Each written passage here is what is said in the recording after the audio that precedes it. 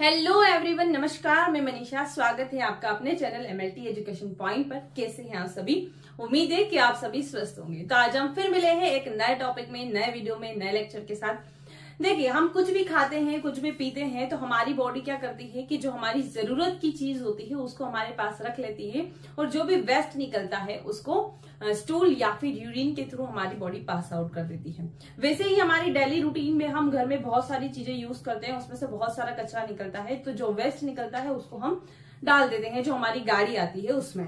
उसी प्रकार किसी इंडस्ट्रीज़ में, किसी कंपनी में हर जगह कुछ न कुछ वेस्ट निकलता रहता है। उसी प्रकार एक वेस्ट निकलता है हमारे हॉस्पिटल में, उस वेस्ट को हम कहते हैं बायोमेडिकल वेस्ट यानी कि बायोमेडिकल वेस्ट क्या है, कितने टाइप्स का होता है, क्यों बायोमेडिकल वेस्ट जो है मैनेजमेंट जो है वो बनाया गया कैसे कौन कौन से डिब्बे में कौन कौन सा वेस्ट आपको डालना है इन सभी के बारे में आज की क्लास में हम पढ़ने वाले हैं।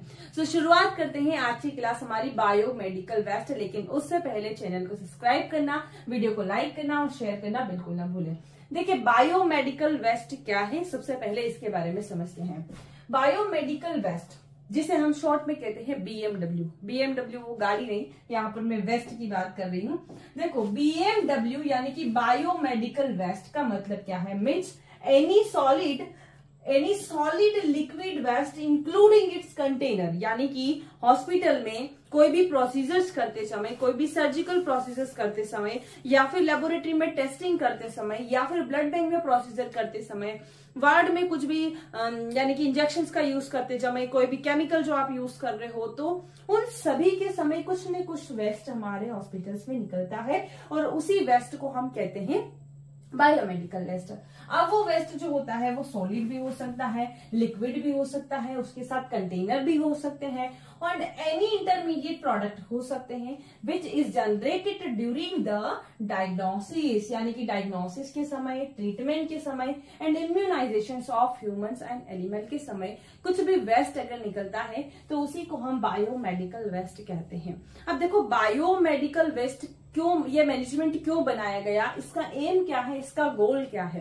देखो, हम देखते हैं कि बायोमेडिकल वेस्ट में बहुत सारी इस तरीके की चीज़ें निकलती है, जो कि इन्फेक्टेड है।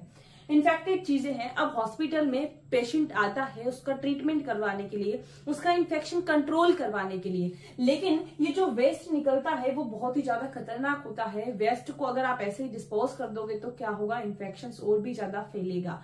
हम चाहते हैं कि इन्फेक्शन कंट्रोल हो हॉस्पिटल में जो है वो ट्रीटमेंट कराया जाता है, ताकि इन्फेक्शन कंट्रोल हो। और उल्टा यहाँ पर इन्फेक्शन जो है वो फैल सकता है इन वेस्ट से, क्योंकि ये वेस्ट जो होता है वो बहुत ही खतरनाक होते हैं। कुछ केमिकल्स होते हैं, कुछ कॉटन्स होते हैं, कुछ बैक्टीरिया या वायरस से इन्फेक्टेड मटेरियल्स होते हैं। तो इनका ये मैनेजमेंट करना बहुत ही ज़्यादा ज़रूरी था। तो इसका मेन गोल यही है कि इन्फेक्शन को कंट्रोल किया जाए पॉल्यूशन को कम किया जाए। क्लियर है? अब देखो, आपको यहाँ पर दिखाई दे रहा है, कुछ प्रोसीजर्स करते समय, यहाँ पर सर्जिकल प्रोसीजर्स करते समय, कुछ इस तरीके का वेस्ट निकलता है, उस इस वेस्ट को पहुँचाया जाता है इसके ट्रीटमेंट के लिए, जैसे कि यहाँ पर ये अंकल लेकर जा रहे हैं। ठीक है, अब देखिए, ये जो आपका वेस्ट निकलता है हॉस्पिटल से जो भी वेस्ट निकलता है, जो मेडिकल वेस्ट निकलता है, ये डिफरेंट डिफरेंट टाइप्स का होता है, जिसे हम कहते हैं बीएमडब्ल्यू के अंदर लेते हैं, यानी कि बायोमेडिकल वेस्ट इस वेस्ट में आपके कुछ केमिकल वेस्ट भी निकलेंगे। केमिकल वेस्ट में जैसे कि गैसेस मेटेलिक लिक्विड यानी कि कुछ लिक्विड केमिकल वेस्ट निकलेगा, कुछ सॉलिड केमिकल वेस्ट निकल रहा है, कुछ गैसेस निकल रहे हैं तो ये भी आपके बायोमेडिकल वेस्ट के अंदर आता है। कुछ इन्फेक्शियस वेस्ट इन्फेक्शियस वेस्ट मतलब की जो पेरासाइड्स है बैक्टीरिया से या फिर वायरस से कंटेन्स जो मटेरियल्स है, जो वेस्ट निकल रहे हैं, जो कि इन्फेक्शन फैला सकते हैं, बीमारी कोज कर सकते हैं, उनको हम कहते हैं इन्फेक्शन वेस्ट तो वो कॉटन भी हो सकता है, किसी पर्सन का ब्लड लगा हो, उस कॉटन पे अगर उसको कोई एच हो तो वहाँ पर उसको हम इन्फेक्शन वेस्ट कहेंगे. कोई भी ड्रेसिंग हो गई या फिर कोई भी क्लियरिंग मटेरियल्स हो गया तो वो आता है आपके इन्फेक्शियस वेस्ट के अंदर। उसी प्रकार होता है पैथोलॉजिकल वेस्ट पैथोलॉजिकल वेस्ट में आपका जैसे कि ब्लड हो गया, आपका बायोप्सी सैंपल हो गया, ये आएँगे आपके पैथोलॉजिकल वेस्ट के अंदर। और रेडिएशन वेस्ट रेडिएशन वेस्ट मतलब कि जो एक्सरे डिपार्टमेंट है आपका, उस एक्सरे डिपार्टमेंट में जो भी वेस्ट निकल रहा है रेडियोथेरेपी मटेरियल्स हो गया x ray and other radiological testing करते समय, वो भी आपका बायोमेडिकल वेस्ट के अंदर आता है। फार्मेक्यूटिकल वेस्ट फार्मेक्यूटिकल वेस्ट मतलब कि कोई भी एक्सपायर्ड ड्रग्स हो गई, कोई भी केमिकल्स हो गया, या फिर रिसर्च वेस्ट हो गया। रिसर्च करते समय जो भी वेस्ट निकला, जो भी मेडिसिन बनाते समय जो भी वेस्ट निकला, वो आ जाएँगे आपके फार्मेक्यूटिकल वेस्ट के अंदर। उसके बाद अगला आता है आपका शार्प्स शार्प्स मतलब की निडिल यानी कि नुकीली चीज़ें। नुकीली चीज़ें जैसे आपको कट लग सकता है, किसी पर्सन को अगर हेपेटाइटिस है और उसकी निडिल आपको चुप गई तो वहाँ पर क्या हो सकता है? आपको भी वो इन्फेक्शन हो सकता है। तो ये जो निडल है, जो ग्लास बॉटल्स है, जो सेट्स है, वो आते हैं आपके शार्प्स के अंदर और यही सारी चीज़ें आपकी कहलाती है बायोमेडिकल वेस्ट अब इस वेस्ट का मैनेजमेंट करना बहुत ज़रूरी है। इनको ठिकाने लगाना बहुत ज़रूरी है। तो देखिए, यहाँ पर जो है ये जो स्टेप चलती है, इसकी कुछ बायोमेडिकल वेस्ट की, इनको ऐसे ही कहीं पर भी इधर उधर फैलाया नहीं जाता है। इनकी स्टेप्स चलती है, ये स्टेप्स आपको याद करना बहुत ज़रूरी है कि सबसे पहले इनका क्या होता है। जो भी वेस्ट जनरेट हुआ है हॉस्पिटल में, सबसे पहले इनका क्या किया जाता है। तो जो भी वेस्ट जनरेट हुआ है means survey of waste generated, इनका सबसे पहला स्टेप जो आता है, वो आता है सेग्रीगेशन क्या आता है? Segregation of hospital waste segregation का मतलब होता है कि अलग अलग कर देना। अलग अलग मतलब कि हम देखते हैं कि हॉस्पिटल में जाते हैं तो अलग अलग टाइप के डस्टबिन यूज़ किए जाते हैं। यानी कि उससे हम क्या करते हैं कि सेग्रीगेशन मतलब कि जो प्लास्टिक वाली चीज़ें हैं, उनको अलग कर देते हैं। कांच वाली चीज़ें हैं तो उनको अलग कर देते हैं। और जो इन्फेक्टेड मटेरियल्स है, उनको अलग कर देते हैं। और वही हमारी सबसे पहली और इम्पोर्टेंट प्रोसेस आती है। सो यहाँ पर आप स्टार लगा लीजिए, ये बहुत इंपॉर्टेंट है सेग्रीगेशन ऑफ़ हॉस्पिटल वेस्ट दूसरा आता है कि जो भी वेस्ट निकला है, किसी एक डिपार्टमेंट से वेस्ट निकला है तो उस एक डिपार्टमेंट का वेस्ट हमने इकट्ठा किया, उसको हम कह देंगे collection and categorisation of waste यानी कि उसमें से पॉलिथीन निकालेंगे, जो डस्टबिन है, पूरा का पूरा ऐसा निकाल लेते हैं, फिर उसमें दूसरी पॉलिथीन लगाई जाती है, वो हो जाएगा आपका पूरा कलेक्शन का वेस्ट अब उसके बाद में पूरा जो हॉस्पिटल में जितने भी डिपार्टमेंट्स है, उन सभी का जो है वेस्ट एक जगह इकट्ठा किया जाता है। स्टोरेज ऑफ़ वेस्ट उसको हम कहेंगे स्टोरेज ऑफ़ वेस्ट यानी कि सभी डिपार्टमेंट का वेस्ट एक प्लेस डिसाइड किया जाता है कि यहाँ पर हमें सारा वेस्ट जो है वो लाकर इकट्ठा करना है। फिर चलते हैं अगले स्टेप्स पर, वो आती है ट्रांसपोर्टेशन ऑफ़ वेस्ट यानी कि एक व्हीकल के द्वारा उस वेस्ट को जितना भी वेस्ट निकला है, उस सभी को ट्रांसपोर्ट किया जाता है वहाँ पर जहाँ पर उनका ट्रीटमेंट होगा। अब ट्रीटमेंट का मतलब ये नहीं कि पेशेंट का इलाज होगा। वहाँ पर इलाज होगा, लेकिन वेस्ट का इलाज होगा। कि ट्रीटमेंट क्या करना है? मतलब कि सेग्रीगेशन हम इसीलिए करते हैं ताकि उसका ट्रीटमेंट सही साथ हो सके।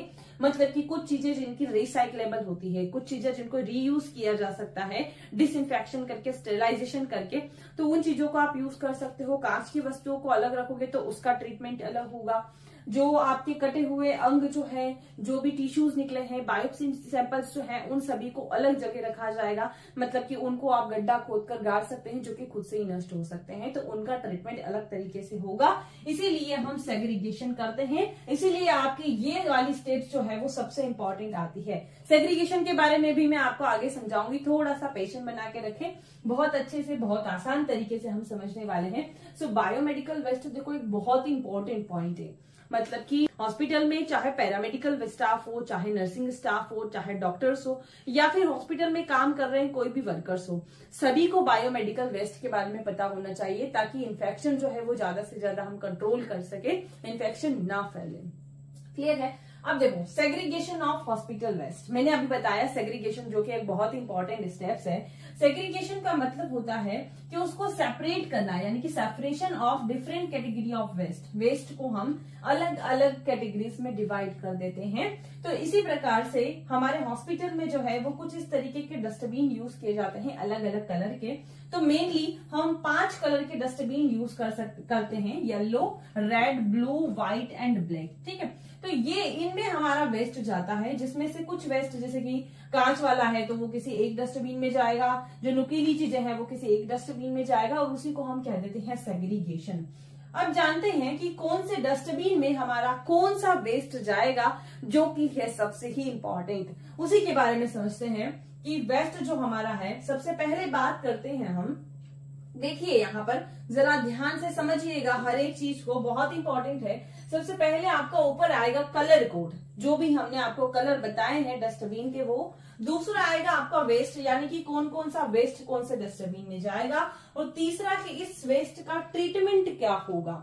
बहुत इंपॉर्टेंट बात यहाँ पर बताई जा रही है कि देखो येलो डस्टबिन अगर आपका है तो येलो के अंदर कौन सी चीज़ें जाएगी? सबसे पहली है human and animal anatomical waste यानी कि कोई भी टिश्यू हो गया ऑर्गन्स हो गया बॉडी का पार्ट्स हो गया तो वो आपके येलो डस्टबिन के अंदर जाएँगे। अगर कोई कॉटन हो गया कॉटन वेस्ट हो गया तो वो भी आपका जाएगा येलो के अंदर। मास्क है तो मास्क भी आपका जाएगा येलो के अंदर।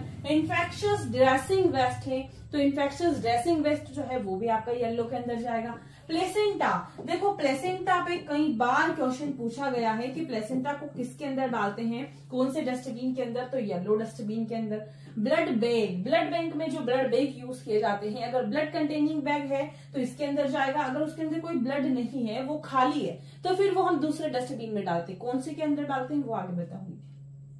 बॉडी फ्लूइड्स बॉडी फ्लूइड्स में जैसे कि सीएसएफ हो गया यूरिन हो गया स्पूटम हो गया, ये सब आपके बॉडी फ्लूइड्स के अंदर आते हैं और ये भी आपके जाते हैं येलो डस्टबिन के अंदर। साइटोटॉक्सिक वेस्ट है तो वो भी आपके जाएँगे येलो डस्टबिन के अंदर। और जो भी आपका मतलब जो एक्सपायर्ड मटेरियल्स है एक्सपायर्ड जो वेस्ट मटेरियल्स है, वो भी आपका केमिकल मटेरियल्स है, वो भी आपका येलो के अंदर जाएगा। जो माइक्रोबायोलॉजी में जो कल्चर्स निकलते हैं, वो कल्चर्स भी आपके किसके अंदर जाएँगे? डस्टबिन के अंदर जाएँगे। अब आती है बात कि इसका ट्रीटमेंट क्या होगा? ट्रीटमेंट में आपकी कुछ चीज़ें आती है, जैसे कि पहला इंसिनरेशन इंसिनरेशन के अंदर क्या होता है कि उसको जलाया जाता है, जलाने के बाद उसकी एश बन जाती है और एश को ज़मीन में गाड़ दिया जाता है। तो एक तो ये होता है। कुछ चीज़ें जो है जिनका डीप बरियर होता है, इसमें से कुछ वेस्ट है जिनका डीप बरियर होता है, जैसे कि human and anatomical waste anatomical waste जैसे कि मैंने आपको बताया कि कोई भी टिश्यू हो गया बॉडी के पार्ट्स हो गए तो उनको क्या करते हैं कि डीप बरियर्स मतलब कि गड्ढा खोदते हैं, उनको डाल देते हैं और वो खुद से ही नष्ट हो जाते हैं, ऐसी चीज़ें हैं तो उनका होगा आपका डीप बरियर्स कुछ चीज़ों का इसमें केमिकल ट्रीटमेंट होता है। केमिकल ट्रीटमेंट का मतलब होता है कि उसमें फाइव परसेंट हाइपोक्लोराइड सॉल्यूशन डाला जाता है और उसके अंदर वो वेस्ट डाल देते हैं ताकि वो डिसइंफेक्टेड हो जाए, किसी भी बैक्टीरिया से वायरस से कंटेनिंग अगर हो तो वो उससे फ्री हो जाए। तो माइक्रो ऑर्गेनिज्म को किल करने के लिए हम ये केमिकल ट्रीटमेंट करते हैं। उसके बाद उसको अगर ड्रेन करने जैसी चीज़ है तो उसको ड्रेन कर दिया जाता है या फिर उसको इंसिनरेशन के लिए भेज दिया जाता है। अब आते हैं अगली आपका, यानी कि अगला डस्टबिन आता है आपका रेड कलर का, कि रेड कलर के अंदर कौन सी चीज़ें आती है? तो रेड के अंदर जाएँगे आपके इन्फेक्शियस प्लास्टिक आइटम्स यानी कि जो भी प्लास्टिक आइटम्स निकल रहे हैं, वो प्लास्टिक आइटम्स आपके जाएँगे रेड डस्टबिन के अंदर, क्योंकि जो आपका प्लास्टिक वाली चीज़ें हैं, उनका रिसाइकलेबल हो सकता है, उनको रिसाइकल करके यूज़ किया जा सकता है। तो दूसरी चीज़ आती है सीरीज़ विदाउट निडिल यहाँ पर ध्यान रखना है कि विदाउट निडिल विथ निडिल नहीं. निडिल के साथ में सीरीज़ अगर है फिक्स है तो कौन से में डालना है, वो आगे बताऊँगी. अगर विदाउट निडिल है तो वो रेड के अंदर जाएगा. आईवी सेट हो गया डायलिसिस किट हो गई आईवी बॉटल्स हो गई यूरिन बैग्स हो गए ग्लव्स हो गए कैथेटर्स हो गए. ये सारी चीज़ें जाएगी आपके रेड डस्टबिन के अंदर. अब इसका क्या होगा? ऑटोक्लेविंग हो गया। ऑटोक्लेविंग क्या है? आप सभी समझते हैं कि ऑटोक्लेविंग जो एक तरह की मशीन है, जिस पर एक स्पेसिफिक टेम्परेचर पर स्पेसिफिक टाइम पर स्टीम किया जाता है। यानी कि सीधा सीधा अगर बात करें तो स्टरलाइजेशन के लिए यूज़ किया जाता है।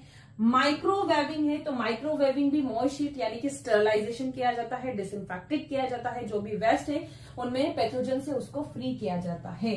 केमिकल ट्रीटमेंट केमिकल ट्रीटमेंट अभी मैं बता चुकी हूँ, इसमें कुछ जगह केमिकल ट्रीटमेंट भी किया जाता है। आई होप आपको समझ में आया होगा कि रेड डस्टबिन के अंदर कौन कौन सी चीज़ें जाती है। ब्लू डस्टबिन अगर आपका है तो ब्लू के अंदर आपकी ब्लू मतलब आँख बंद करके कह दो कि ग्लास वाइल्स जो भी आपकी कांच की चीज़ें हैं, कांच की चीज़ें सारी आपके ब्लू डस्टबिन के अंदर जाएगी ग्लास वाइल चाहे वो ब्रोकन ग्लास हो, चाहे वो अच्छी ग्लास हो, कैसी भी ग्लास हो एम्प्यूल्स जो एम्प्यूल्स निकलते हैं छोटे छोटे से कांच के जो एम्प्यूल्स निकलते हैं, उनको भी आपके ब्लू डस्टबिन के अंदर डालते हैं। लैब में जो स्लाइड्स निकलती हैं, जो कांच की ग्लास स्लाइड्स होती है, वो भी आपके अंदर अंदर, इसके अंदर जाएगी। जो भी मेटेलिक इम्प्लांट होता है मेटिकली इम्पेलिंग यानी कि मेटल का बना हुआ जो भी होता है, वो भी आपका ब्लू डस्टबिन के अंदर जाएगा। ऐसा नहीं है कि मेटल का बना हुआ है तो बड़ी बड़ी चीज़ें इसके अंदर डाल रहे हैं तो वो चीज़ें अलग रहती है। इसका क्या होता है ट्रीटमेंट इसका भी ऑटोक्लेविंग होता है माइक्रोवेविंग होता है और श्रेडिंग होता है। श्रेडिंग का मतलब देखिए श्रेडिंग का मतलब अगर कुछ बड़ी चीज़ है, जैसे कि ग्लास वेयर्स है बीकर्स हो गए तो इनको क्या करता है? श्रेडिंग यानी कि उसको तोड़ा जाता है छोटे छोटे टुकड़ों में तोड़ दिया जाता है। उसके बाद उसकी जो आगे की प्रोसीजर है ऑटोक्लेविंग वगैरह, वो वाली होती है। व्हाइट व्हाइट का काम क्या होता है? यानी कि व्हाइट के अंदर कौन सा हम कचरा डालते हैं? कौन सा वेस्ट डालते हैं? सो व्हाइट डस्टबिन के अंदर हम डालते हैं जितनी भी नुकीली चीज़ें हैं। नुकीले में आपके निडल्स आ गई, आपके स्विचेस निडल आ गई, आपके, देखो, अब आती है यहाँ पर बात इंपॉर्टेंट जो मैंने आपको अभी बताई कि जो हम सीरिंज डाल रहे हैं, जो हम सीरिंज डाल रहे हैं, अगर वो फिक्स निडल उसके साथ में है तो जाएगा आपके व्हाइट के अंदर, क्योंकि इसके साथ में शार्प चीज़ है, यानी कि नुकीली चीज़ है। यहाँ पर हम सीरिंज जो डाल देते थे, वो विदाउट निडल थी, वो प्लास्टिक की चीज़ थी।